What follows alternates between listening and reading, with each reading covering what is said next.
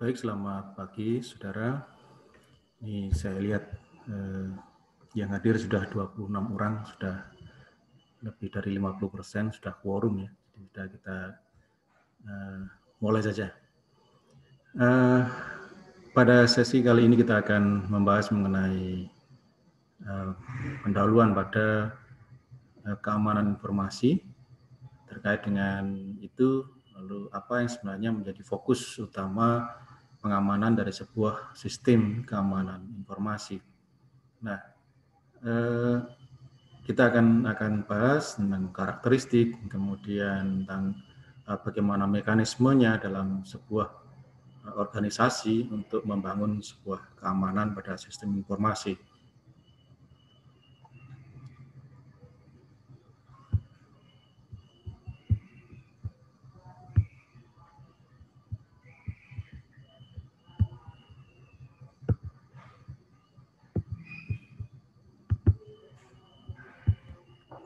Nah, kalau menilik sejarah dari keamanan informasi memang eh, berawal pada pada saat eh, perang dunia kedua. Di situ di mana antar eh, pasukan itu harus mengirimkan eh, suatu pesan rahasia dari satu divisi ke divisi yang lainnya yang nah, pesan itu disampaikan secara rahasia supaya tidak sampai ter, diketahui musuh. Tetapi segala usaha yang dilakukan ini ternyata uh, mudah untuk dipecahkan ya jadi misalkan misal sudah menggunakan uh, kriptografi untuk membuat suatu enkripsi yang sederhana ya sehingga pesan itu hanya bisa diketahui oleh uh, pengirim dan penerima yang terotorisasi. Namun Ya nih, yang menjadi permasalahannya adalah bahwa kode itu bisa dipecahkan ya. Jadi kode-kode tadi bisa dipecahkan oleh uh, musuh, oleh mereka yang tidak berhak sehingga akan um, mengancam keselamatan dari suatu pasukan.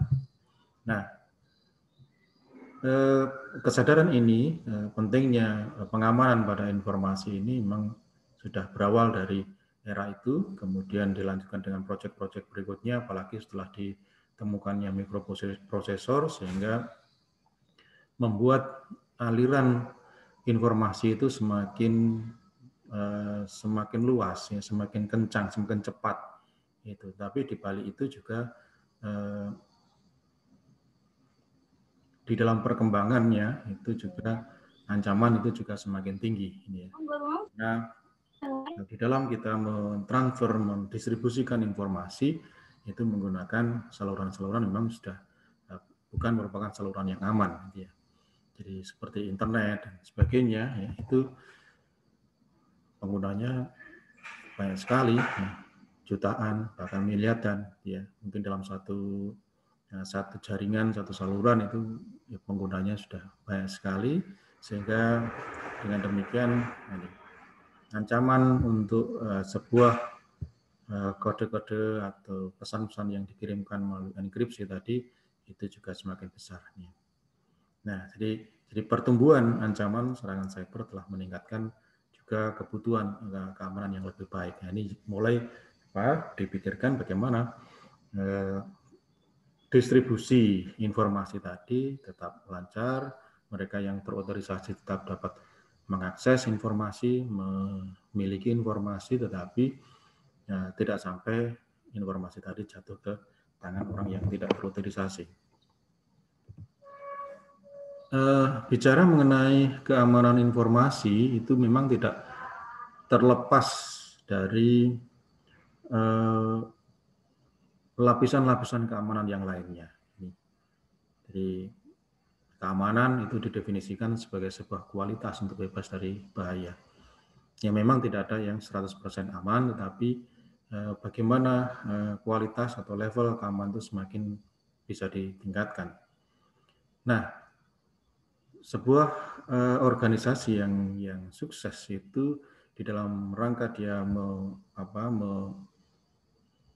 memberikan suatu sistem keamanan informasi yang baik, itu tidak terlepas dari uh, berbagai macam lapisan keamanan yang lain. Jadi memang seperti yang kita ketahui bahwa informasi itu adalah sebuah core, sebuah inti dalam perjalanan sebuah organisasi. Ya, jadi organisasi itu bekerja, berjalan, beraktivitas itu karena adanya informasi. Dan informasi tadi setiap organisasi harus harus dijaga sedemikian rupa sehingga eh, memastikan bahwa aktivitas dalam organisasi tadi bisa berjalan dengan baik ya tanpa apa hmm, dan tidak bisa diakses eh, oleh orang-orang yang tidak terutilisasi. Tetapi kita berbicara mengenai keamanan informasi itu tidak cukup hanya kita fokus pada bagaimana informasi tadi diamankan, tetapi juga uh, perlu memperhatikan juga lapisan-lapisan uh, keamanan yang lain, gitu ya. Jadi kita pertama adalah keamanan fisik. Ya. Jadi di mana keamanan fisik ini melindungi item, objek, atau area dari akses yang tak terutilisasi dan salah penggunaan. Kita ketahui bahwa informasi tadi dikemas dalam eh,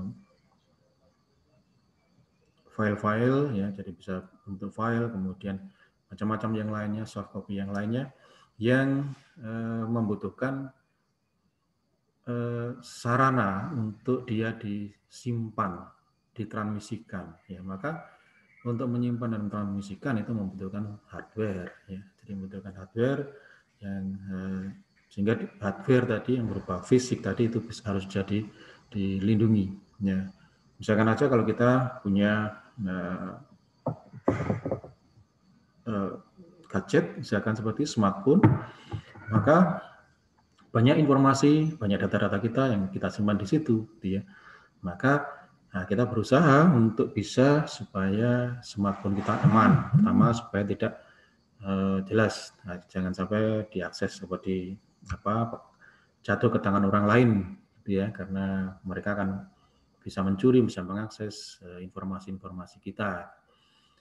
Uh, berikutnya kita juga secara fisik itu kita perlu lindungi ya gadget kita itu. Misalkan diberikan lapisan uh, dengan dilapisi dengan lapisan tertentu sehingga kalau misalkan uh, dia jatuh atau uh, terbentur sesuatu ini tidak sampai berpengaruh secara apa secara fatal.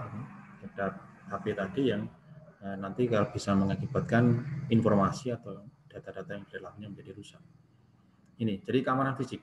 Nah, secara lebih besar kita tahu bahwa setiap organisasi mereka yang membutuhkan sarana yang lebih besar lagi untuk storage-nya seperti misalkan uh, server ya jadi server jadi semua data-data yang ada dalam organisasi tadi disimpan dalam suatu server khusus nah server-server tersebut itu disimpan dalam sebuah ruangan yang khusus di mana tidak semua orang bisa eh, keluar masuk atau mengakses di dalamnya jadi hanya mereka yang berwenang mereka yang terotorisasi itu yang boleh masuk ke dalam ruangan tadi sehingga keamanan fisik ya. Nah, di, di samping itu juga diperlukan suatu uh, desain khusus pada ruang-ruang tersebut ya untuk menjaga misalkan mengantisipasi dari bahaya-bahaya yang lain seperti misalkan kebakaran atau banjir atau gempa bumi ya. Sehingga kalau misalkan ada uh, serangan bencana semacam seperti itu uh, server itu tetap bisa terjaga Ya, jadi ini keamanan fisiknya itu bisa uh, fisiknya tetap terjaga karena fisik yang baik itu juga akan menjamin bahwa isi yang di dalamnya juga akan bisa uh, bisa terlindungi dengan baik juga. Kemudian uh, berikutnya ini juga kita melihat uh, perlunya ada keamanan personil. Apa yang dimaksud dengan keamanan personil? Jadi ditujukan untuk perlindungan individu atau grup yang berwenang menjalankan sebuah organisasi Eh, seperti yang sudah kita bahas pada pertemuan yang lalu bahwa seperti misalkan di organisasi universitas seperti Unas Jember itu memang tidak ada uh, secara eksak, eh, secara apa, secara eksplisit itu sebuah uh, jabatan atau posisi yang khusus menangani pengamanan dari informasi, tetapi Eh, informasi-informasi yang ada pada sistem itu eh, merupakan kewenangan dan tanggung jawab melekat pada eh, jabatan dari masing-masing user. Misalkan saja, misalkan masuk sebagai rektor, misalkan. Ya, rektor itu mendapatkan akses apa saja, kewenangannya apa saja. Itu kemudian masuk sebagai dekan, masuk sebagai dosen, masuk sebagai mahasiswa, masuk sebagai uh, operator, masuk. Nah, masing-masing punya uh, kewenangan, punya hak akses terhadap informasi-informasi yang menjadi kewenangan untuk yang mereka kelola.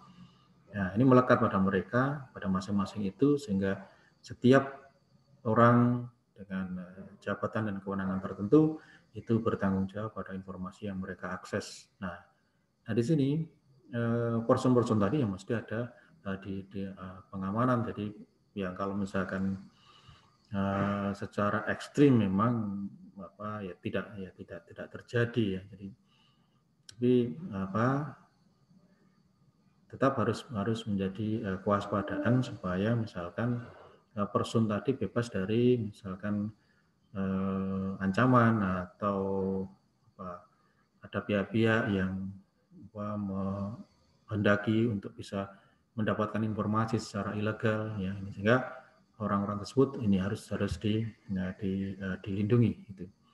Sehingga kalau misalkan ya seseorang dengan jabatan tertentu kemudian harus menyerahkan apa dipaksa untuk menyerahkan eh, passwordnya, maka ya sudah apa yang menjadi uh, informasi yang menjadi kewenangannya itu akan akan bisa jatuh ke tangan orang yang tidak terotorisasi.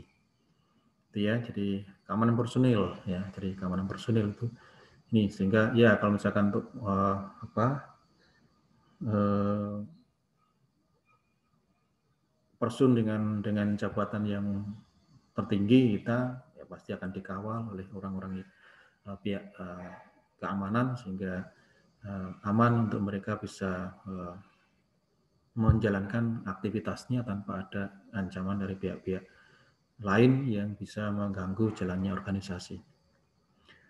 Berikutnya keamanan fisik, keamanan personil, keamanan operasi. Ya, jadi di mana keamanan operasi tadi ini bertanggung jawab untuk melindungi detail dari sebuah operasi khusus atau rangkaian kegiatan. Ya, contohnya misalkan keamanan operasi, misalkan kegiatan apa yang yang secara rutin dilakukan oleh sebuah organisasi. Contohnya misalkan di universitas kita ya pasti ya, kegiatan rutinnya adalah perkuliahan. Salah satu contohnya itu di eh, perkuliahan. Nah, sekarang bagaimana supaya perkuliahan tadi tetap eh, tidak terganggu dapat dilaksanakan sesuai jadwal yang telah ditetapkan pada lokasi, pada tempat yang telah ditetapkan. Ini ya. Banyak hal yang bisa dilakukan. Jadi silakan saja. Seperti yang sekarang ini ya banyak apa alternatif-alternatif yang bisa digunakan. Jadi misalkan untuk menjalankan uh, perkuliahan ya selama daring ya semuanya harus daring kita ketahui bahwa uh, di awal ya sebelum adanya pandemi ini kita sudah memiliki fitur di dalam sister kita yakni uh, Big Blue Button ya BBB. Ya, jadi pada saat itu ya Big Blue Button tidak banyak dipergunakan karena uh, perkuliahan bisa, masih bisa dilaksanakan secara offline tetap muka langsung ya sehingga mungkin uh, dosen hadir di kelas kemudian bisa me, apa, mengakses materinya di MMP ya kemudian sudah presentasi perkuliahan berjalan. Tapi begitu sudah uh, daring ya di mana semua perkuliahan diharuskan online maka uh, waktu itu uh, awal mulanya Bigul Button menjadi uh, suatu media utama untuk bisa melakukan perkuliahan.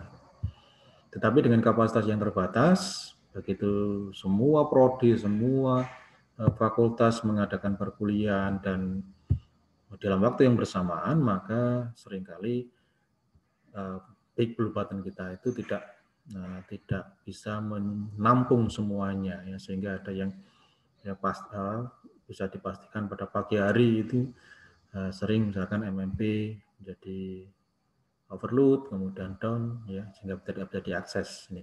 Nah hal-hal semacam ini perlu diatasi ya jadi jangan sampai operasi apa kegiatan rutin perkuliahan di universitas ini ber terbengkelai atau terganggu. Nih. Nah, maka kemudian diambil suatu tindakan mungkin tidak hanya tergantung pada big blue button, tapi bisa menggunakan Google apa Google Meet ya. Kemudian ada juga yang bisa menggunakan Zoom ya, tapi waktu itu kemudian kendalanya adalah bahwa Zoom yang terbatas hanya 40 menit kalau mau upgrade ke eh, premium ya harus, harus berbayar begitu sehingga akan memberatkan juga bagi tenaga pengajarnya. Nah, kemudian eh, dengan berjalan waktu lalu sumber kemudian melanggan eh, Zoom tadi ya yang kemudian diintegrasikan pada MMP waktu itu ya. Jadi masih pada awal mulanya diintegrasikan pada MMP sehingga uh, dosen bisa mengset uh, link Zoom itu di MMP. Ini. Nah, tetapi tadi ya begitu semua menggunakan melaksanakan perkuliahan menggunakan MMP yang sama, maka untuk masuk ke MMP aja juga sudah kesulitan ya, jadi sudah kesulitan. Ini sehingga kemudian ada alternatif ya. Jadi alternatif bahwa Zoom itu bisa di uh, setting pada sister. Ya. Jadi disediakan uh, fitur untuk setting zoom di sister. Jadi hmm, bisa di MMP, bisa di sister. Ya. Boleh memilih salah satu. Ya. Dosen bisa memilih salah satu. Sehingga pada saat itu kalau misalkan uh, di MMP sedang sedang uh, banyak yang mengunjungi overload gitu ya, maka orang bisa ke, ke Zoom, uh, ke sister untuk bisa memulai atau start pada Zoom-nya. Ini ya. Uh, tetapi ada kalanya juga ya kedua-duanya ya. Jadi kedua-duanya baik MPMP maupun sister itu juga uh, terkendala ya. Jadi misalkan sedang ada maintenance atau apa maka uh, kedua-duanya uh, tidak bisa diakses ya. Maka dosen masih bisa untuk membuka perkuliahannya itu pada melalui aplikasi Zoom-nya. Gitu. Karena Zoom ini sudah terintegrasi dengan dengan sister, maka eh, walaupun sister maupun setelah diset di sister ya, walaupun sudah tersimpan di sana, walaupun sister maupun MMP itu sudah uh, tidak bisa diakses, ya dosen sudah bisa membuka Zoom itu melalui uh, melalui aplikasinya sehingga perkuliahan uh, tidak terganggu, tetap bisa dijalankan. Nah, demikian juga untuk presensi juga yang dibutuhkan. Ya, tadinya eh, untuk membuat presensi dosen harus eh, membuat ini apa attendance list di MNP men-setting itu. Tapi sekarang sudah ada backupnya. Ya, karena kalau hanya mengacu apa tergantung pada MNP maka tadi juga akan eh, kendala yang sama itu akan terulang ya eh, MMP akan banyak yang mengakses karena semuanya harus ke MMP untuk presensi ya itu ini sehingga uh, akan overload dan akan menjadi apa uh, tidak bisa diakses.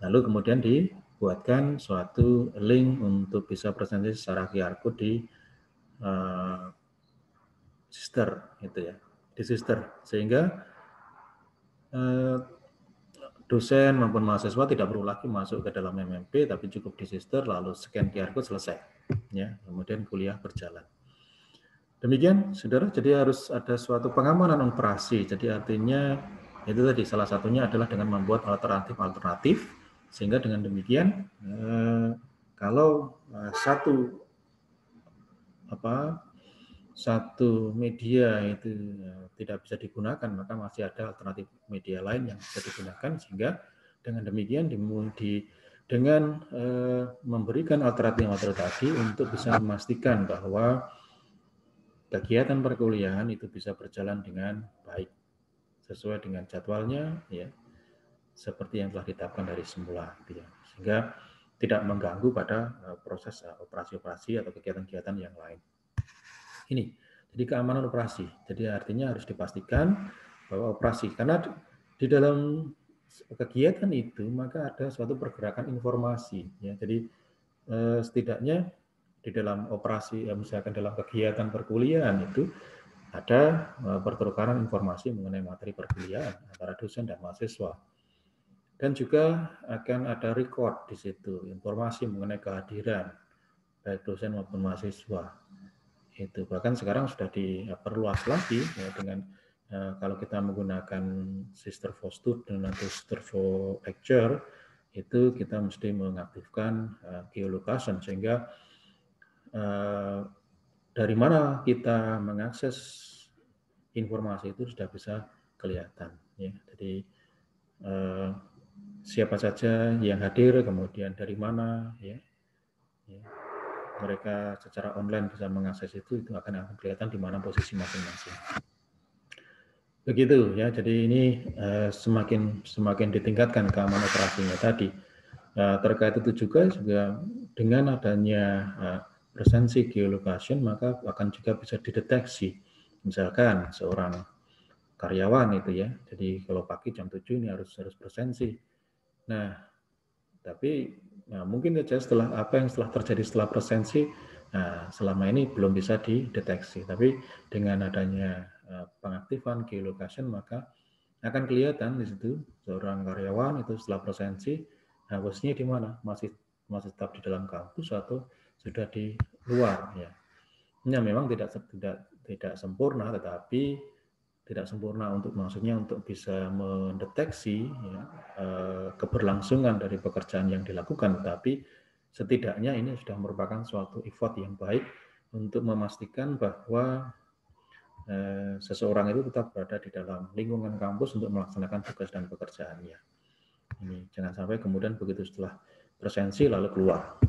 Nggak tahu ke mana ya ini seperti itu. Nah itu salah satu ya, dengan uh, teknologi ini maka orang akan bisa melaksanakan apa dipantau bisa dilihat di mana dia berada sehingga eh, kalau misalkan seseorang itu ditugasi ya ditugasi dengan tugas-tugas tertentu dalam kampus maka diharapkan pekerjaan itu akan bisa diselesaikan dengan baik. Itu untuk keamanan itu.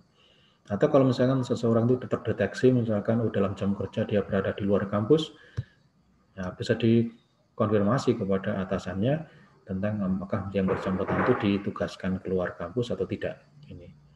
Ya, sekali lagi eh, segala upaya, segala skenario tadi itu digunakan untuk mengamankan operasi agar eh, rangkaian kegiatan yang dilakukan oleh suatu organisasi itu dapat terlaksana dengan baik. Kemudian yang berikutnya adalah keamanan komunikasi jelas di sini. Jadi informasi itu ya, jadi didistribusikan ya, dengan menggunakan rangkaian komunikasi sehingga dengan demikian eh, komunikasi tadi harus harus eh, aman gitu ya. Jadi baik itu terhadap medianya atau teknologinya maupun isi komunikasinya itu itu harus terjaga dengan dengan baik itu harus dipastikan bahwa eh, semuanya aman sehingga eh, dalam uh, aktivitas kegiatan dalam suatu organisasi di mana satu person dengan person lain perlu ada suatu komunikasi dan koordinasi maka uh, semua itu bisa dilakukan secara secara aman gitu ya. Kemudian berikutnya jaringan jelas di sini keamanan jaringan itu juga menjadi suatu hal yang perlu diperhatikan eh, karena misalkan aja dalam uh, hal perkuliahan, misalkan materi perkuliahan sudah disiapkan, kemudian zoomnya juga sudah di apa bisa setting dengan baik sesuai dengan jadwalnya, kemudian mungkin kalau ada video media pembelajarannya juga sudah siapkan dengan baik. Tapi kalau misalkan jaringannya sedang broken, ya jaringannya sedang down di situ, maka ya apa proses uh, pentransferan, proses kegiatannya juga akan terganggu. Ya sehingga harus dipastikan jaringan tadi aman. Ya jadi semua uh, semua pihak semua bagian di seluruh universitas ini uh, terhubung satu sama lain dengan jaringan yang baik. Ini baik komponen maupun koneksi maupun isi jaringannya. Itu ya ini. Nah semua itu semua lapisan-lapisan keamanan tadi itu uh, digunakan untuk mendukung ya, suatu pengamanan yang utama yakni keamanan informasi. Oke, ya jadi sekali lagi bahwa ke, eh, kita membuat suatu keamanan informasi tidak cukup hanya berfokus pada informasinya saja bagaimana kita mengamankan, tapi juga harus memperhatikan eh, lapisan-lapisan keamanan yang lainnya, fisik, personal, operasi, komunikasi, dan juga jaringan. Nah, sekarang di dalam uh, keamanan informasi sendiri, ya kita fokus ya masuk ke dalam informasi. Apa sih sebenarnya yang yang harus diamankan di situ? Ya, dalam hal ini keamanan informasi itu melindungi tiga aspek yakni confidentiality, integrity, dan availability. Jadi memastikan bahwa confidential, jadi artinya bahwa informasi itu hanya bisa diketahui oleh uh, mereka yang terotorisasi saja. Jadi tidak sampai di jatuh ke tangan orang yang tidak terotorisasi. Itu ya. Kemudian integrity itu di harus dipastikan bahwa informasi tadi harus bisa didapatkan secara utuh ya, tidak terpecah-pecah, tidak terkurangi, tidak terkorap. Gitu. Kemudian eh, berikutnya availability, yang berarti bahwa informasi tadi harus bisa diakses kapan pun, di mana pun eh, oleh orang-orang yang terotorisasi. Itu, jadi availability itu jadi ketersediaannya harus selalu tersedia setiap saat bagi orang-orang yang terotorisasi untuk mengakses informasi tersebut. Nah, sehingga dengan demikian keamanan informasi tadi harus menjaga ya, eh, CIA tadi, confidentiality, integrity, dan availability itu di seluruh eh, lifetime informasi tadi, mulai dari saat dia disimpan, kemudian diproses, kemudian ditransmisikan.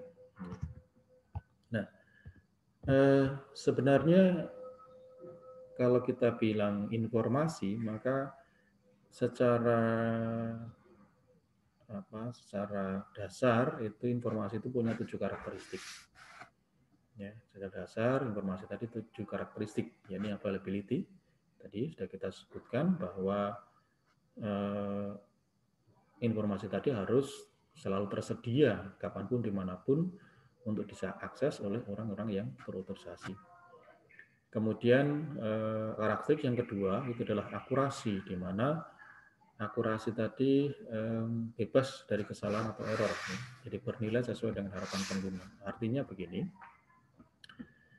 uh, dalam uh, penyimpanan, dalam transmisi, ya, ya dimungkinkan ya. Jadi kalau kita menggunakan media yang ya, tidak selalu 100% berfungsi sempurna, ya, maka dimungkinkan adanya error ya pada saat masa apa, saat transmisi atau saat uh, penyimpanan itu sehingga tetapi jangan sampai error tadi ya harus ada apa toleransinya. Jadi berapa error yang yang bisa ditoleransi.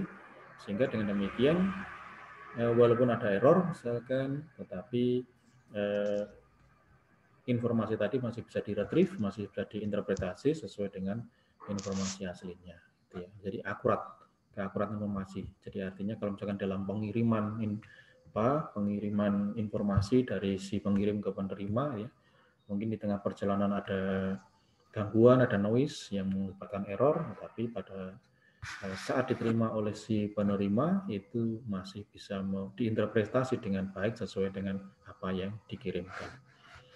Ini keakuratan ya, informasi, kemudian karakteristik berikutnya adalah authenticity, keaslian.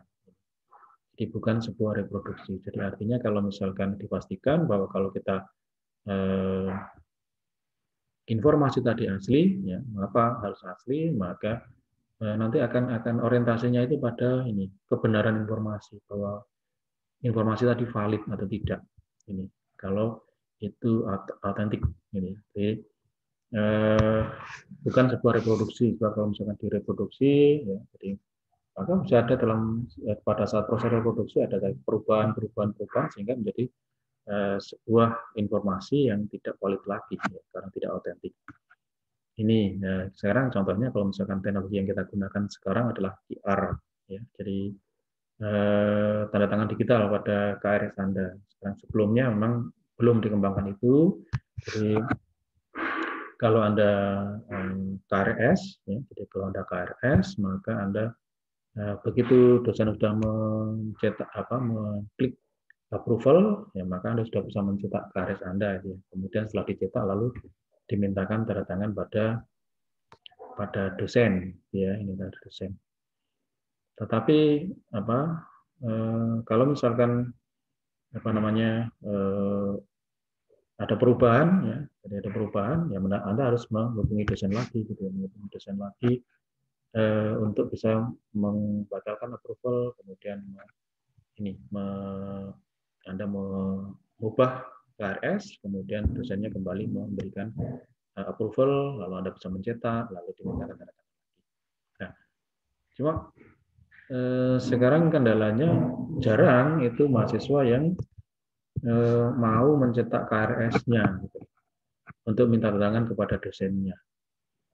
Ya, jadi banyak eh, sebagian besar mahasiswa itu sudah percaya dengan sistem gitu ya. Jadi sudah eh, nantinya apa namanya eh, KRS-nya itu akan akan eh, tidak mereka baca jadi eh, paperless sudah jadi sehingga membutuhkan untuk membuka KRS ya dia buka lagi di, di sistem gitu ya kemudian disimpan tapi kalau yang disimpan itu kan belum ada tanda tangannya dosen gitu seperti itu. Nah, lagian kalau misalkan e, mahasiswa tidak memiliki bukti secara fisik itu bisa jadi akan terkendala kalau ada masalah karena pernah terjadi e, karena apa ada kendala teknis ya, pada sistem maka ada mata kuliah yang kehapus gitu ya dia sudah mengikuti mata mengikuti perkuliahan begitu sampai akhir loh di KHS-nya mata kuliah itu hilang. Ya, padahal di KRS dia e, nempuh mata kuliah itu. Ini. Tapi begitu di tengah perjalanan nah, ada satu mata kuliah yang kehapus sehingga dia ya, tidak bisa punya bukti. Ya. Jadi bahwa di awal semester dia sudah memprogram mata kuliah itu. Nah, berbeda kalau misalkan mahasiswa tadi mencetak, ya mencetak KRS, kemudian dimintakan tanda tangan dosen, dia punya eh, bukti ya, secara fisik bahwa betul dia akan dia di awal semester sudah memprogramkan itu. Ini sehingga uh, pada saat misalkan di kelasnya mata kuliah itu hilang, ya maka dia bisa apa komplain untuk melaporkan untuk bisa uh, dikembalikan sesuai dengan KRS-nya. Ya. Tetapi itu tadi ya banyak uh, sebagian besar mahasiswa tidak mencetak KRS yang dimintakan berdasarkan pada dosen walinya. Ya sudah kalau itu terjadi. Nah, Nah, untuk mengatasi itu dan mahasiswa pun juga tidak perlu lagi mencetak lagi yang supaya tetap paperless, maka tanda tangan eh, dosen itu di eh, sekarang menggunakan tanda tangan digital. Jadi begitu dosen sudah approve eh, KRS Anda di sister, maka di eh, cetakan KRS tadi akan sudah muncul QR code ya. Di QR code sesuai dengan ini pada tanda tangan dosen tadi sudah berupa QR code sehingga itu bisa di apa, verifikasi setiap saat ya QR code-nya bisa di scan, uh, ya bisa di scan kemudian uh, akan bisa dicocokkan apakah ini sesuai dengan identifikasi pada dokumen jadi dalam QR code itu akan tertera uh, siapa dosen yang menandatangani yang menyetujui approve kemudian ini KR-nya atas nama siapa ini berapa kemudian mata kuliahnya apa saja. Ya. Kalau itu sesuai dengan dokumennya, maka betul, betul bahwa itu adalah QR code yang valid atau tanda tangan digital yang valid. Itu sehingga eh, ini adalah suatu upaya untuk memastikan bahwa dokumen-dokumen atau informasi tadi adalah autentik, ya, asli. Ini. Ya, begitu. Kalau misalkan Anda mau mengadakan perubahan KRS, maka Anda harus menghubungi dosen untuk membatalkan, dosen membatalkan, kemudian Anda merubah, kemudian minta lagi approval, begitu dosen approval, maka akan muncul QR code lagi pada eh, KRS yang baru yang berbeda dengan QR code yang sebelumnya. Ya sehingga QR code yang baru ini akan menyesuaikan dengan ya jadi karena tanda tangan digital secara kriptografi ya itu hanya berlaku untuk satu dokumen. Kalau ada perubahan dokumen itu maka eh, tanda tangannya tadi sudah tidak valid lagi sehingga harus ada pembukuan tanda tangan yang baru. Jadi seperti ini, begitu sudah di-approve lagi, maka KRS Anda yang baru ini akan menjadi KRS yang otentik, ya, di mana di situ uh, QR code itu sudah menunjukkan itu approval dari dari dosen, ya, yang sesuai dengan apa informasi yang ada di dokumen. Ya, itu keaslian. Kemudian berikutnya confidentiality yang tadi sudah kita apa kita bahas itu adalah bebas dari Eh, terungkapnya suatu informasi pada pihak-pihak yang tidak terotorisasi. Kemudian integriti utuh lengkap yang tidak terporak. Eh, karakteristik berikutnya adalah utility, ya. Jadi memiliki nilai untuk beberapa tujuan, ya. Jadi, seperti ini, kalau kita masuk ke dalam sister, maka kita akan teridentifikasi apakah username dan password kita itu eh, teridentifikasi melalui username password, apakah kita sebagai eh, mahasiswa, sebagai dosen, sebagai ketua program, sebagai wakil dekan, sebagai dekan, wakil rektor, sebagai lektor, sebagai misalkan operator, ya, jadi sebagai apa pun, ya, kita. Jadi begitu kita masuk semua aktivitas akademika, begitu masuk dalam sister akan teridentifikasi, ya, apa perannya, apa jabatannya, apa eh, hak aksesnya, ya, sehingga akhirnya dia akan diberikan akses sesuai dengan dengan uh, identifikasi tadi, ya. Nah, Tentunya informasi-informasi yang menjadi hak akses masing-masing tadi itu juga uh, ditujukan untuk men, apa, digunakan untuk tujuan-tujuan tertentu. Ya. Jadi misalkan sebagai wakil dekan itu bisa mengakses uh, kegiatan kemahasiswaan, mengakses uh, misalkan berapa mahasiswa yang KRS-nya belum disetujui, mengakses ini misalkan apa Eh, perkuliahan ya. Siapa yang sudah online siapa yang uh, masih uh, belum. Kemudian juga uh, berapa persen yang yang NMP kemudian berapa persen yang non NMP nah, seperti itu. Nah itu memang digunakan untuk menjalankan tugas dan tanggung jawab sebagai wakil dekan. Jadi artinya informasi yang bisa diakses tadi itu bisa digunakan untuk ditujukan untuk bisa digunakan untuk menjalankan aktivitasnya.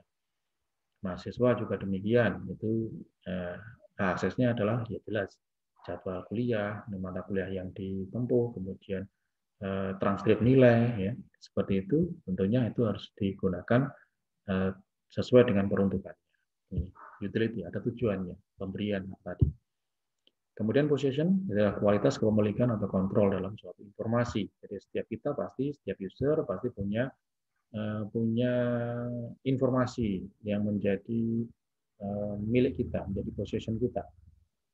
Ya, seperti misalkan contohnya kalau mahasiswa lah, ya, eh, semua itu pasti akan punya biodata di dalam di dalam sister tadi. Ya, dalam biodata dalam sister tadi. Mungkin juga ini apa capaian-capaian prestasinya itu juga terekam di sister ya karena nanti akan digunakan juga untuk di menjadi SKPI ya, jadi surat keterangan pendamping ijazah tentang eh, kegiatan-kegiatan apa saja atau prestasi-prestasi apa saja yang sudah diraih, gitu ya. itu menjadi informasi Anda, informasi kita. Gitu.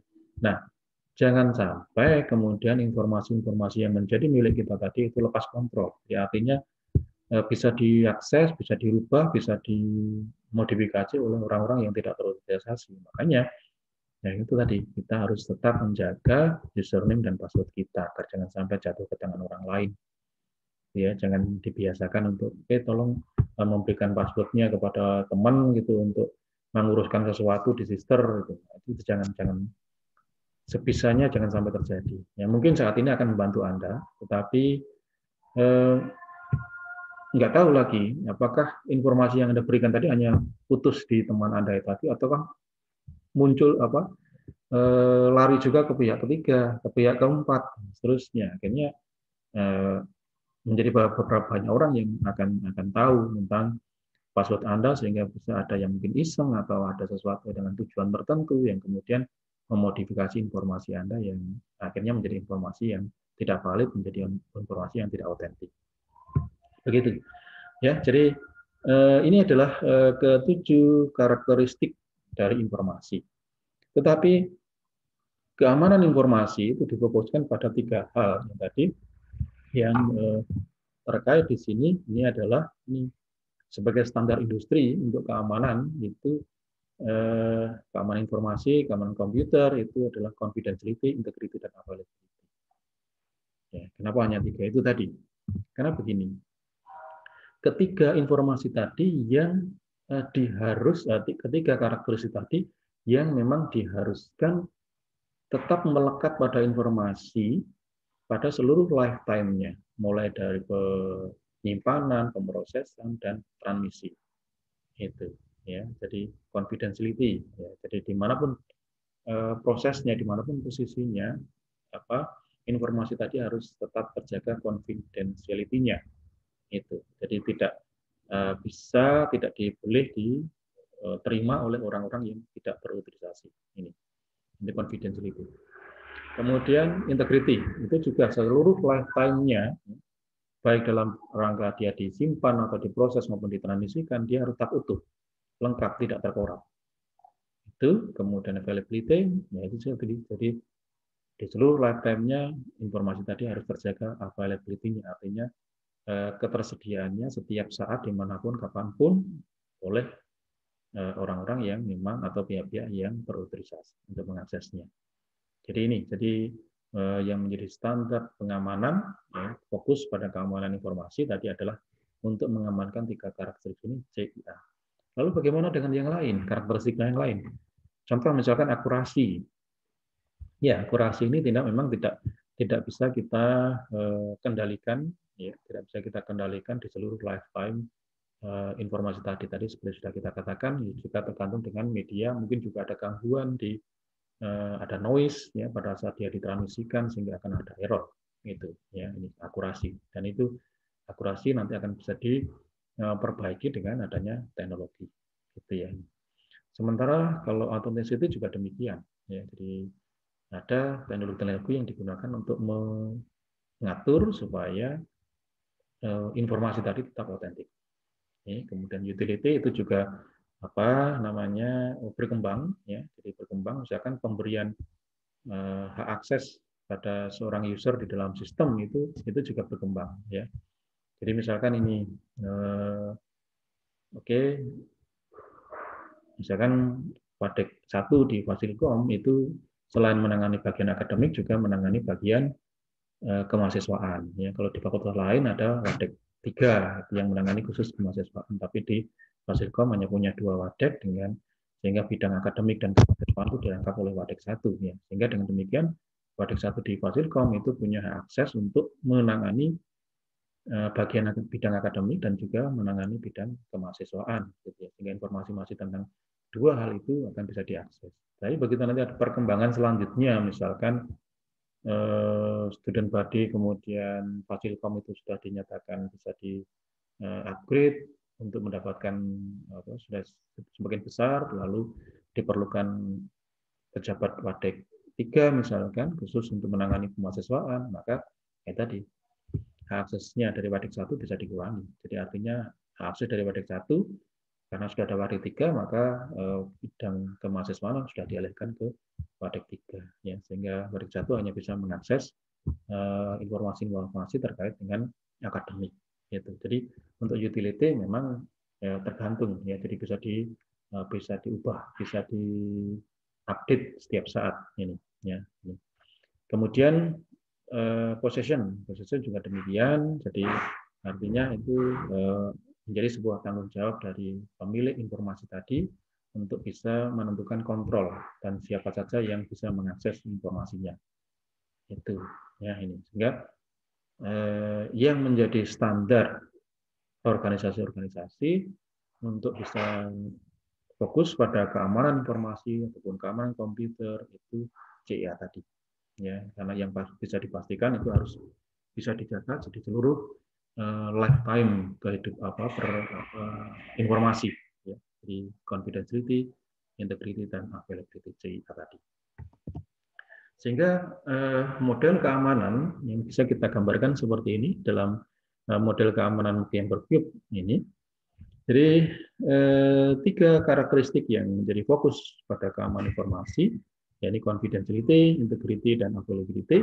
Nah ini ini harus bisa dijaga terus, ya, harus tetap bisa dijaga sepanjang lifetime-nya, ya, mulai saat dia disimpan storage pada saat pemrosesan maupun pada saat uh, transmisi.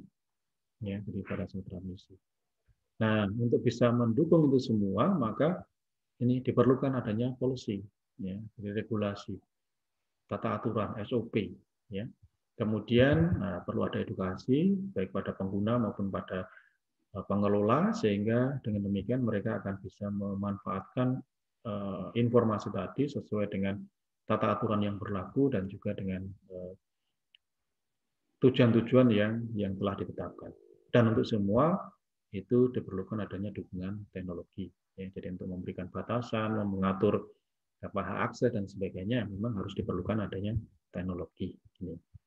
Oke, jadi eh, dua gambar ini adalah dua gambar yang memberikan suatu representasi yang sama, yakni eh, bahwa ketiga karakteristik informasi tadi harus bisa terjaga pada saat storage, processing, dan transmisi, dan semuanya itu itu didukung harus didukung dengan adanya policy, tata aturan, regulasi, dan SOP, dan harus ada sosialisasi atau edukasi pada uh, pengguna ataupun pada pengelola ya, dalam satu sistem informasi tadi, kemudian ada teknologi. Ya contohnya saja misalkan begitu ada polisi berubah itu maka ya perlu ada edukasi lagi. Contohnya misalkan sekarang eh, dalam penawaran mata kuliah misalkan contoh. Jadi kalau sebelumnya kalau mata kuliah itu adalah mata kuliah fakultas wajib fakultas maka cukup ditawarkan di satu apa namanya satu prodi maka prodi yang lainnya sudah bisa mengakses nah cuma sekarang dengan adanya MBKM, ya, jadi Merdeka Belajar Kampus Merdeka ini, maka begitu ada mata kuliah itu diidentifikasi oleh sistem sebagai mata kuliah sharing, maka mata kuliah itu kemudian dianggap sebagai mata kuliah MBKM yang kemudian mungkin tidak hanya bisa diakses oleh semua mahasiswa di satu fakultas, tapi mungkin juga sudah bisa di, dari luar fakultas, kemudian maka juga mungkin bisa diakses oleh mereka yang berada di luar universitas sebagai mata kuliah yang ditawarkan untuk misalkan MBKM seperti itu. Nah, maka ya ada perubahan gitu ya. Jadi walaupun eh, itu mata kuliah wajib fakultas ya, maka juga harus tetap ditawarkan di setiap prodi gitu ya. Supaya itu menjadi bagian dari mata kuliah prodi yang tertutup untuk prodi yang bersangkutan. Ini sebab kalau itu diidentifikasi sebagai mata kuliah sharing, maka sudah terbuka untuk semuanya. Ya, sehingga ada harus ada apa suatu perlakuan khusus juga, misalkan kalau untuk eh, mata kuliah-mata kuliah yang lainnya, misalkan mata kuliah pilihan, ya. kalau mata kuliah pilihan terus di nah, kita sudah mulai semester yang lalu itu mata kuliah pilihan itu boleh diambil oleh oleh semua prodi, jadi mata kuliah pilihan SI juga bisa diambil prodi lain, TI juga diambil prodi lain dan sebagainya. Maka kalau itu yang terjadi, maka setiap eh, setiap prodi itu juga harus ditawari mata kuliah itu. Ya, sehingga ya akhirnya jumlah kelasnya menjadi tiga kali lipat itu karena selama ini kita hanya nah, untuk mata kuliah pilihan ya ditawarkan di satu prodi yang asalnya lalu yang prodi yang lain bisa ngambil. Ditawarkan di prodi asalnya prodi yang lain bisa ngambil itu lalu seperti itu yang terjadi. Kalau misalkan harus ditawarkan di setiap prodi maka akan eh, meningkat kelasnya tiga kali lipat gitu. Ya, sementara Nah, kapasitas ruang kita juga eh, juga terbatas itu nanti kalau misalkan itu sampai ada apa kalau misalkan online masih nggak masalah tetapi kalau misalkan sudah offline ya itu ada suatu kendala. Sehingga kemudian ada suatu perlakuan gitu ya. Sehingga perlu ada suatu perlakuan kemudian itu eh, di set kembali oleh UPTTI di mana untuk mata kuliah mata kuliah tadi cukup di tawarkan di satu prodi, kemudian bisa diambil prodi lainnya, tapi tidak sampai keluar ke eh, di luar fakultas, misalkan seperti itu ini dibatasi saja, ini hanya anak eh, fasilkom saja yang boleh ngambil, gitu. maka maka ya sudah dibatasi, hanya khusus untuk fasilkom. Ya walaupun yang mungkin di luar eh, fasilkom itu bisa melihat mata kuliah itu, tetapi eh, tidak sampai bisa mengambil. Nah begitu. Jadi sehingga ada perubahan perubahan policy regulasi seperti itu maka kemudian harus ada education ya. Jadi harus ada sosialisasi terutama operator ya. Bagaimana caranya menawarkan eh, mata suatu mata kuliah gitu ya. Operator harus diberikan edukasi untuk bisa berbiasa dengan aturan tata main yang apa dalam SOP pada eh, rangka era MPKM semacam itu ya. jadi ada edukasi dan itu kemudian semua tetap ada dukungan uh, teknologi. Ini model gambar.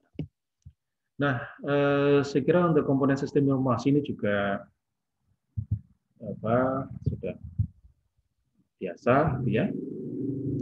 Ini seperti misalkan kalau kita lihat di sini komponen informasi terdiri dari prosedur, people, hardware, network, software, data.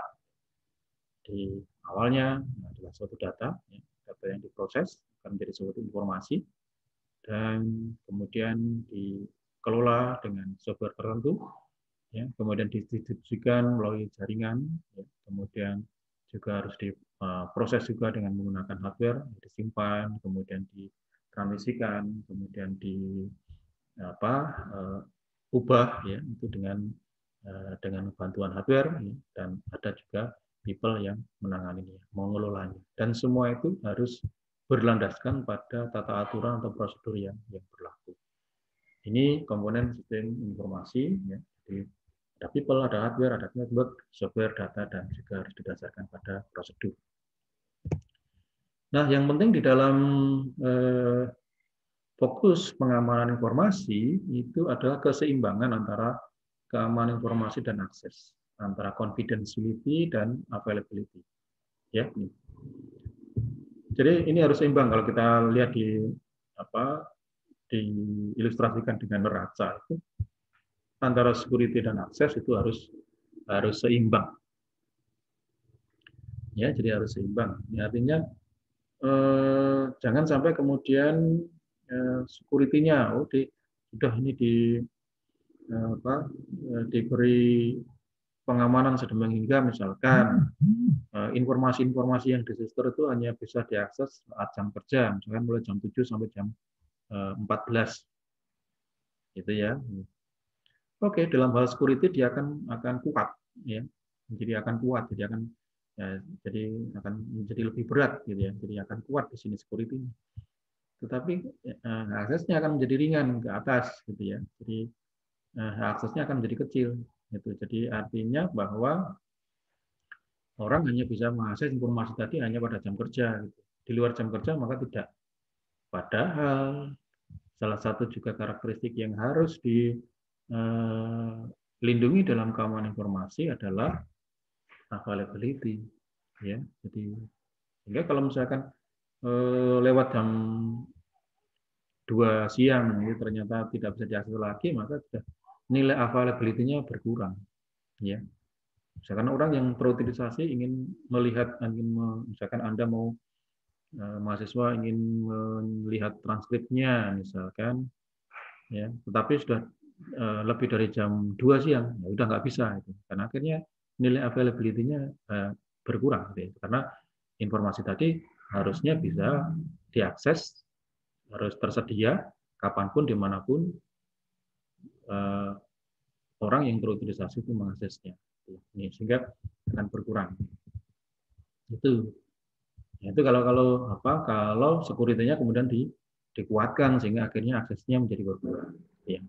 Tapi di lain pihak, itu ya, di lain pihak, kalau misalkan eh, begitu security-nya dilonggarkan, misalkan, oh ini ya saja kalau misalkan itu adalah eh, sebuah informasi yang bersifat publik, nah masalah ya masalah. Jadi artinya memang itu digunakan untuk semua, ya semua bisa mengakses. Tapi kalau misalkan eh, ada suatu eh, informasi yang sifatnya belum tidak publik, tapi kemudian dilonggarkan di sini, maka tingkat eh, keamanannya bisa ya, bisa berkurang, nah, aksesnya akan semakin baik, semakin semakin semakin luas, semakin besar, ya, tapi kemudian menjadi eh, pengaruh berpengaruh pada sisi keamanannya. Ya. Sehingga dengan demikian eh, keamanan informasi tadi harus tetap menjaga keseimbangan antara eh, sisi keamanan, confidentiality-nya, dan sisi akses, availability-nya.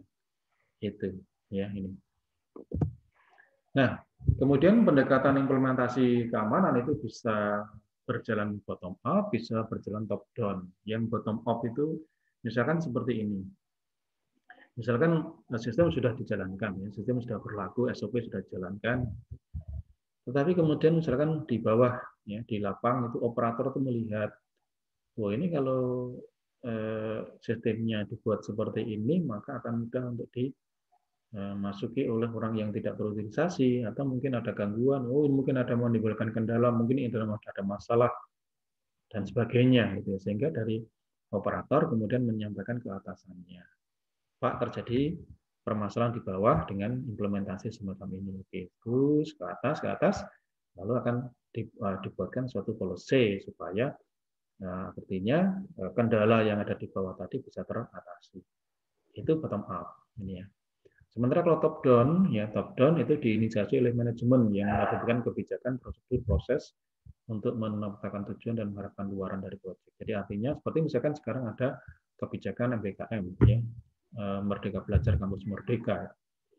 Nah itu itu dari atas, ya kemudian eh, diturunkan ke bawah harus menjalankan proses itu, harus menjalankan kebijakan itu, nah, sehingga sistem yang diperlakukan juga akan berubah, berbeda juga. Jadi seperti misalkan yang sudah saya katakan, kemudian akan berimbas pada hak akses dari eh, mata kuliah-mata kuliah, gitu. Jadi mata kuliah yang sharing itu kemudian eh, bisa di apa namanya eh, bisa dilihat oleh banyak pihak, gitu ya. Jadi artinya kalau sudah ada labelnya, jadi misalkan Eh, ketua prodi itu sudah mengatakan menyatakan oh mata kuliah ini mata kuliah MPKM maka mata kuliah tadi akan bisa dilihat oleh mahasiswa di atau diambil oleh mahasiswa di luar prodi di luar fakultas di bahkan di luar universitas.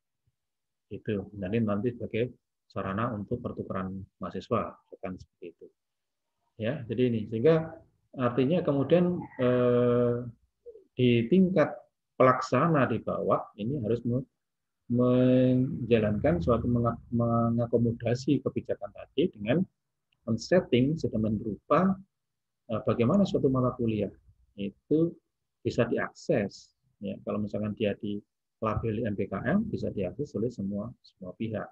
Ya, kalau sebelumnya kan tidak seperti itu. Jadi kalau misalkan yang tadi sudah kita ceritakan, kalau misalkan itu mata kuliah wajib fakultas sudah satu kali di tawarkan, maka semua bisa mengambil dalam satu fakultas itu. Ya, tetapi kalau eh, itu adalah mata kuliah sharing sekarang ini, sharing, maka tidak cukup banyak fakultas, tapi semua yang di luar fakultas juga bisa mengakses. Nah, itu seperti itu. Nah, itu perlu perlu ada suatu tatanan yang kemudian nanti dibatasi. Yaitu sehingga eh, tetap ya, jadi melaksanakan apa yang menjadi Eh, kebijakan dari atas, ya, tetapi di bawah itu perlu disesuaikan dengan kondisi lokal. Ini. Nah, pendekatan yang top down itu paling sukses melibatkan strategi pengembangan formal yang disebut sebagai System Development Life Cycle. Jadi SDLC itu merupakan sebuah apa, model pengembangan untuk sistem. Ya. Jadi seperti ini mungkin ada sudah uh, yang menempuh RPL, ya, RPL itu sudah tidak asing lagi dengan SDLC semacam ini. Salah satu contohnya adalah SDLC uh, eh, waterfall, yaitu sebuah hmm. metodologi untuk pengembangan pengembangan sistem, yaitu mulai dari investigasi, ya, dari analisis kebutuhan, sistemnya harus bisa apa saja dan sebagainya, dan analisis, kemudian turun ke logical desainnya bagaimana, kemudian lalu implementasinya bagaimana, ya, jadi pengkodeannya bagaimana. Ya, kemudian kalau sudah diimplementasikan, lalu bagaimana maintenance-nya, ya. Jadi artinya kalau apa namanya yang hmm, setelah diimplementasikan apakah eh, bisa berjalan dengan baik atau ada sesuatu kendala dan atau kalau ada permasalahan lebih bisa diatasi kemudian diulang lagi karena apa eh, life cycle ya jadi berupa siklus siklus ya jadi di siklus jadi kalau misalkan eh, maintenance-nya ya jadi bagaimana perubahannya ya, ini harus kembali lagi lagi diinvestigasi apa permasalahannya, bagaimana penyelesaiannya, eh, kemudian dianalisis, lalu diimplementasi kembali, diimplementasi lagi. Ya, ini. Nah, eh, tetapi di dalam kita mengembangkan sistem informasi, sebagus apa pun sistem informasi yang kita buat, kalau misalkan sisi keamanannya kurang, maka juga akan eh, fatal juga, gitu ya, seperti itu. Ya, contohnya misalkan Anda membuat sebuah website gitu ya. Tampilannya bagus, kemudian user interface-nya bagus, kemudian ya apa menarik ya mudah untuk di untuk di untuk dipahami friendly ya user friendly seperti itu. Tetapi kalau misalkan dari sisi keamanan itu apa lemah, maka mudah untuk dibobol, mudah untuk dihack dan sebagainya sehingga eh, mengakibatkan nilai dari website Anda akan berkurang. Nah, untuk itu maka perlu adanya perencanaan ada keamanan dalam sistem informasi tadi. Dan eh, metodologi dalam pengembangan keamanan sistem itu sejalan dengan metodologinya pengembangan sistem. Ya, ini. Jadi Jangan di sini SDLC waterfall, ya, ada analis, investigasi, analisis sampai dengan maintenance, itu juga sama dengan ini yang namanya security SDLC. Ya, jadi security SDLC itu punya uh, mekanisme yang yang sama. Ya, jadi mulai dari investigasi ada, jadi menetapkan kira-kira standar uh, pengamanannya itu menggunakan policy yang mana. Jadi berawal dari Enterprise Information Security Policy, jadi suatu standar untuk pengamanan. Nah, kemudian ada analisisnya, lalu ada logical design-nya, blueprint-nya. Jadi nanti misalkan kalau ini terkait dengan eh, manajemen risikonya, ya. Jadi kalau eh, kira-kira sistem tadi ada yang apa ada ke ada kehilangan data misalkan apa yang akan dilakukan ya kemudian jika ada serangan itu apa yang bisa dilakukan kemudian kalau misalkan ada terjadi bencana itu uh, bagaimana memulihkannya.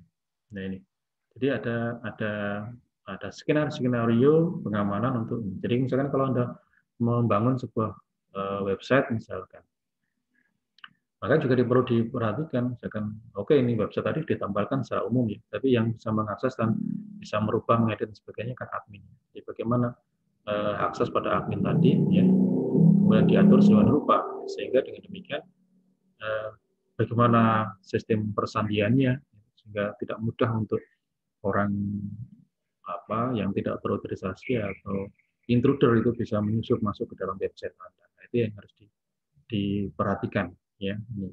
Situ sisi kita bisa membuat suatu sistem yang punya uh, tampilan user interface yang bagus, tapi di sisi lain kita juga harus memastikan bahwa hanya mereka yang berwenang saja yang bisa masuk di dalamnya. Jadi harus misalkan sistem persandiannya itu harus dibuat seperti apa. Jadi kalau misalkan hmm, siapa admin untuk masuk untuk bisa apa memodifikasi sistem Anda itu harus bagaimana. Itu ya banyak hal misalkan oh tidak cukup hanya misalkan dengan dengan username dan password harus dengan menggunakan uh, fingerprint atau dengan menggunakan retina apa uh,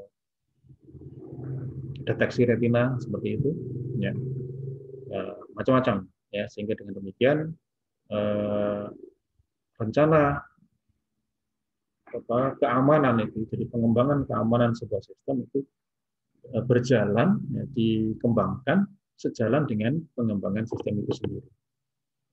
Ya dan tidak cukup kalau sistemnya sudah jadi lalu baru dibuat sistem keamanannya. Itu sudah berjalan pada seiring dengan pengembangan dari sistem itu sendiri. Oke. Nah, secara khusus sebenarnya ada eh, profesional dalam keamanan dan organisasi. Jadi misalkan CIO, lalu CISO. Ya. Jadi pertama seperti CISO itu bertanggung jawab untuk mengakses, mengatur, dan membalaskan keamanan informasi ya, dalam organisasi, memberikan laporan kepada CIO. Kemudian mereka juga punya tim pada proyek keamanan informasi seperti champion, leader, uh, tim leader, security policy developer, ya, kemudian risk management specialist,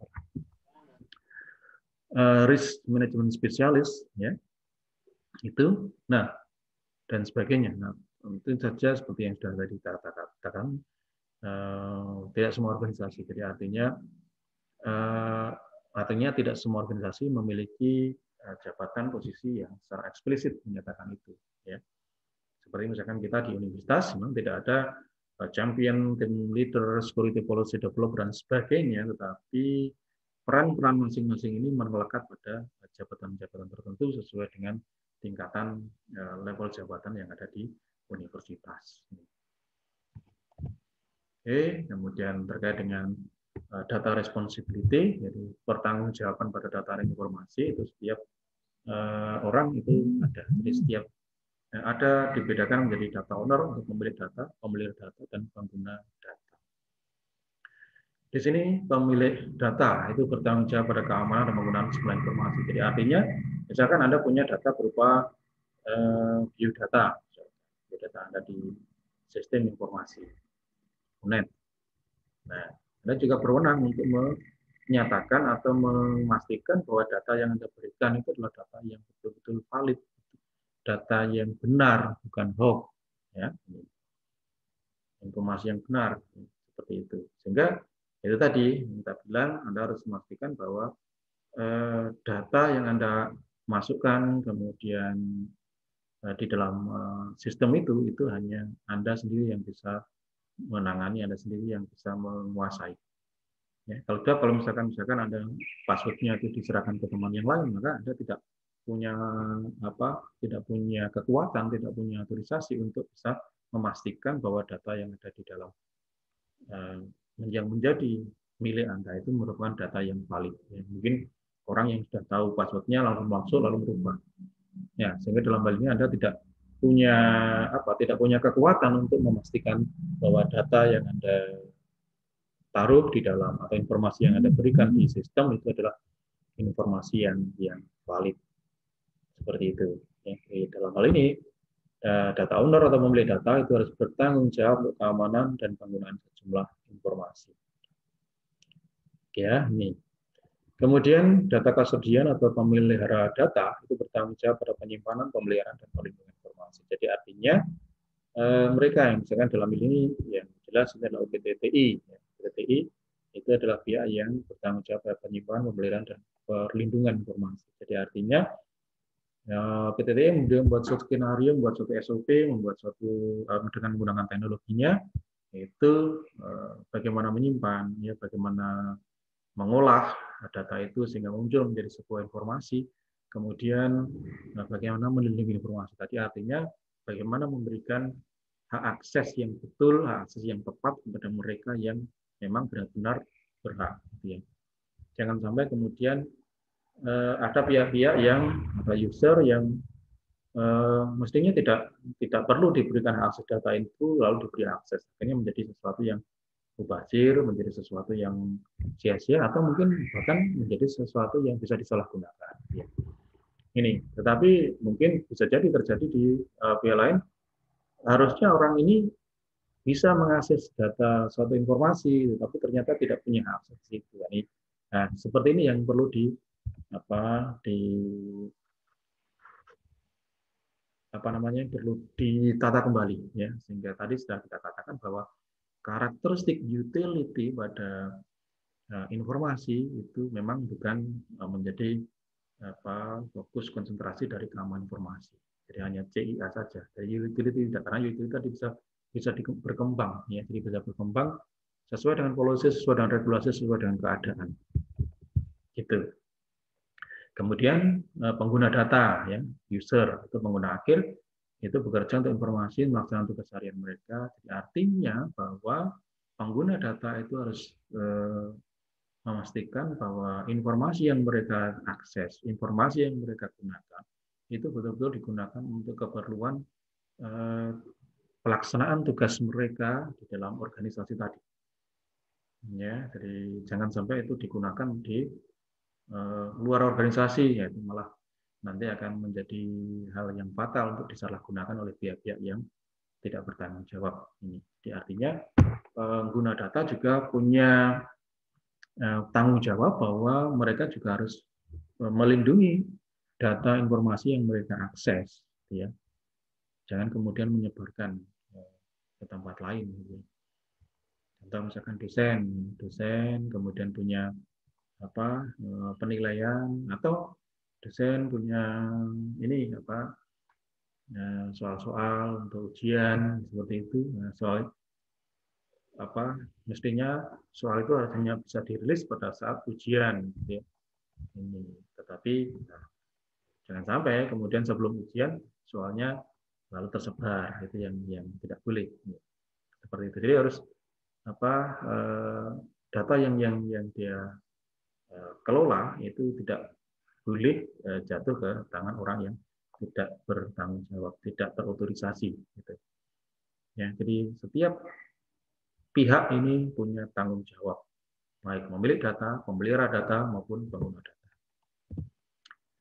Oke, berikutnya sebagai um, penutup dari sesi ini, ya, dari materi ini adalah pertanyaan mengenai keamanan informasi itu sebenarnya seni atau ilmu?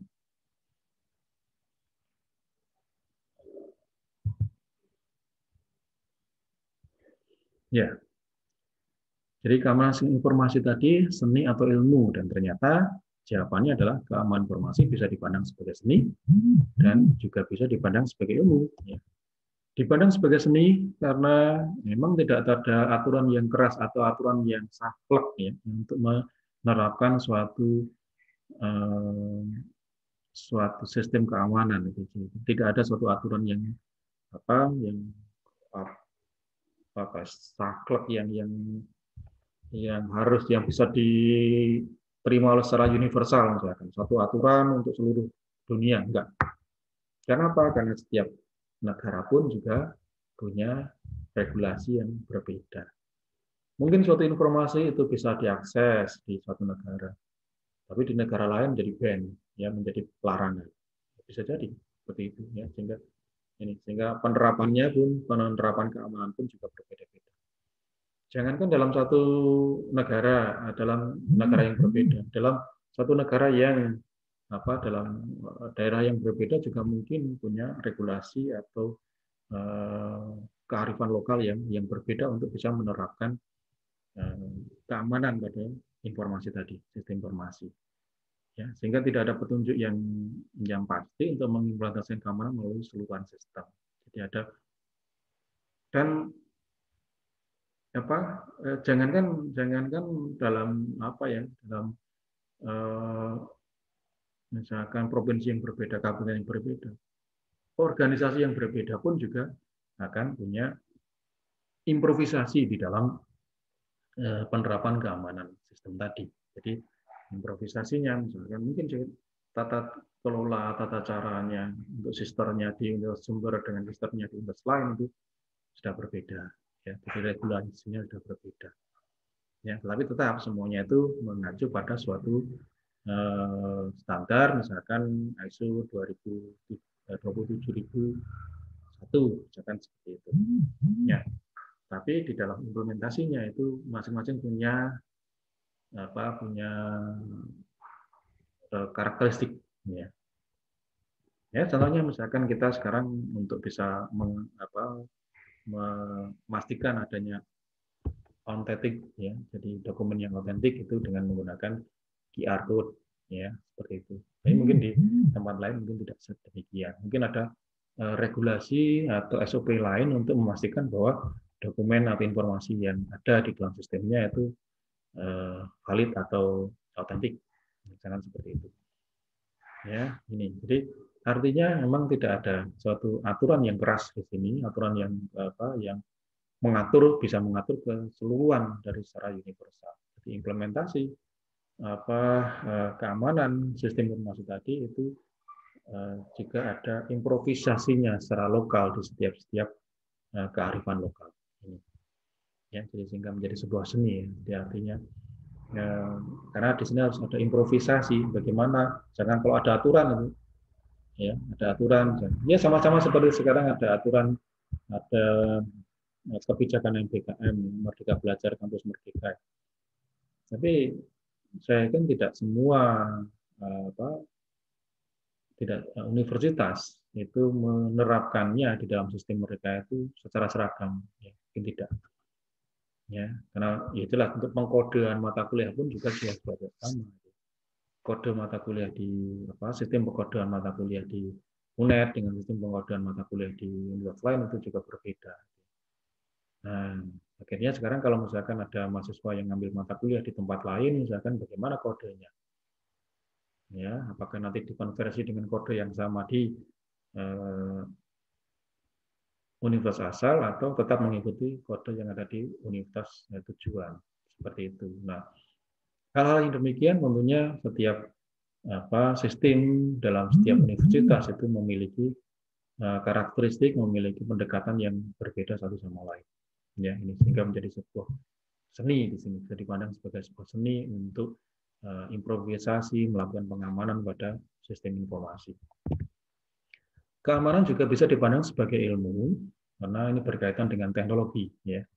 berkaitan dengan teknologi dan desain yang berorientasi pada kinerja yang tinggi. Jadi artinya bahwa tadi seperti eh, dalam model keamanan tadi ya, jadi artinya bahwa eh, CIA tadi harus bisa dilindungi di seluruh lifetime informasi dengan didasarkan pada regulasi, ya, policy, dan harus ada edukasi, dan semuanya itu harus didukung dengan adanya teknologi.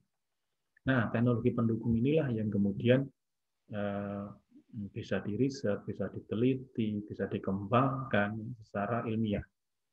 Itu ya, ini jadi misalkan bagaimana eh, mengatur ini, bagaimana mempartisi, bagaimana mem, apa mengimplementasikan proses bisnis dan sebagainya.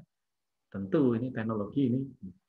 Jadi artinya bagaimana supaya nah, dalam satu universitas saja itu sudah sudah berbeda polisinya ya. Jadi fakultas di bidang apa kesehatan di rumpun kesehatan jelas berbeda dengan ranahnya. Kalau di kesehatan nanti ada apa itu ada perkuliahan yang eh, sistem blok nah itu. Kemudian di tempat lain ada sistem kredit ya. Sistem kredit pun itu juga berbeda-beda ya artinya eh, implementasinya ya ini implementasinya. Sehingga eh, ya itu jadi harus harus mengakomodasi semua itu ya. jadi jadi nggak bisa satu langsung sistem dikeluarkan lalu bisa berlaku atau digunakan untuk semua. Tapi ada, harus ada. Seperti misalkan tempo hari waktu di Fasilkom yang tadi yang MPKM tadi tidak digunakan untuk di luar tapi khusus untuk fasilkom jangan seperti itu. Nah itu kan juga harus ada penataan tersendiri di sini. Jadi tidak serta merta begitu ada mata kuliah sharing lalu bisa di share ke semuanya. Nah, itu nggak bisa tapi ini ternyata ada eh, masing-masing itu punya eh, karakteristik sendiri. Ya ini sampai seberapa besar atau level dari eh, sharingnya. Ya. Jadi sehingga itu harus dikelola dan harus didukung dengan teknologi lalu nah ini perlu ada sebuah trik atau strategi bagaimana menerapkan mengimplementasikan suatu eh, tata aturan pengamanan sesuai dengan kearifan lokal gitu ya. dalam hal ini kearifan lokal setiap fakultas nah itu sehingga ini dipandang sebagai ilmu juga karena juga menyangkut masalah eh, keamanan dari eh, sistem itu sendiri. Nah, jadi jangan sampai kemudian begitu suatu mata kuliah itu bisa diakses oleh eh, pihak-pihak di luar universitas lalu menjadi lubangnya akan akan terbuka. Yaitu sehingga pihak lain bisa dengan apa mudah untuk menyusup untuk masuk ke dalam dalam sistem kita gitu ya. Seperti itu. Nah itu juga harus apa ada eh, analisis kemudian ada nah, bagaimana mengatasi supaya nanti tetap eh, sisi keamanan dari sistem itu tetap, terjaga walaupun eh, sistem itu bisa diakses oleh orang-orang yang ada di luar universitas oke ya kemudian eh, keamanan juga bisa dipandang sebagai sebuah ilmu sosial Nah, jadi tadi ilmu tadi ilmu eksak ya, karena berkaitan dengan teknologinya, sekarang keamanan juga bisa dipandang sebagai ilmu sosial. Kenapa? Karena di sini menyangkut perilaku individu dalam apa di dalam berinteraksi dengan sistem. Ya, jadi individu itu eh, berdasarkan sesuai dengan latar belakang budayanya itu mungkin juga apa Eh, perilakunya itu itu eh, berbeda. Misal contoh, walaupun nanti eh, sasaran akhirnya saya tujuannya akhir sama ya hasilnya akhir sama, tetapi ada suatu perilaku yang yang berbeda-beda. Misalkan kalau di kita ya kalau misalkan apa ada teman yang masukkan username password dalam kalau mereka login ya kita tetap menghadap menghadapkan muka gitu ke teman itu ya bukan sesuatu yang yang yang tabu gitu ya. Toh kita hanya menghadapi mereka, kita tidak melihat tidak melihat apa yang diketik ini untuk melihat oh passwordnya apa enggak. Tapi kita tetap tetap berhadapan itu. Tapi berbeda ya, di apa di luar negeri itu itu sangat sangat ketat sekali sangat saklek itu jadi kalau misalkan orang ada memasukkan ada memasukkan ini memasukkan passwordnya itu kemudian eh, walaupun dia berbicara begini tetap nah, tetap menghadap ke sini maka itu sesuatu yang apa meng, apa menjengkelkan atau membuat sesuatu yang tidak menyenangkan. Sehingga itu ya. Jadi begitu kita misalkan kita diminta tolong masukkan login passwordnya oke masuk. Nah begitu kita masukkan passwordnya dia akan pasti akan berbalik. Ya. Walaupun sebenarnya pada saat dia ke kita pun dia juga tidak akan tidak akan melihat ini ya. Tapi sebagai etikanya dia uh, berbalik. Ya sudah? Setelah selesai? Oke baru dia menghadap jadi seperti itu saudara. Walaupun uh, walaupun hasilnya sama gitu ya tetapi uh, perilaku itu apa Eh, kondisi itu berbeda-beda. Ya ini. Sehingga terkait dengan interaksi. Apalagi kalau misalkan sistem tadi lalu digunakan untuk komunikasi antara dua individu gitu ya. Jadi apa bagaimana mereka menggunakan media itu untuk komunikasi bagaimana mereka menggunakan sistem tadi untuk komunikasi sehingga apa eh, keamanan itu tadi juga eh, berkait dengan perilaku individu dalam interaksi baik antar user maupun dengan dengan penggunaan sistem.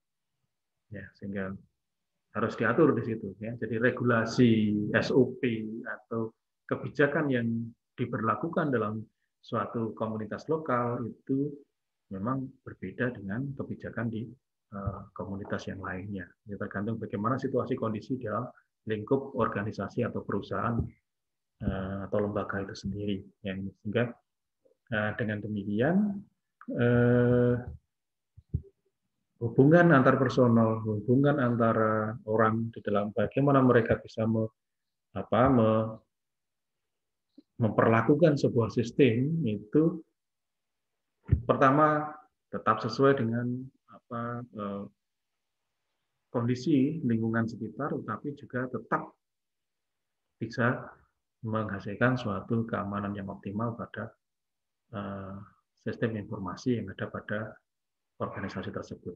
Ya, jadi jadi sekali lagi eh, keamanan sistem informasi itu bisa dipandang sebagai sebuah seni. Ya, tadi kenapa dibuatnya sebuah seni? Kemudian bisa dipandang sebagai ilmu.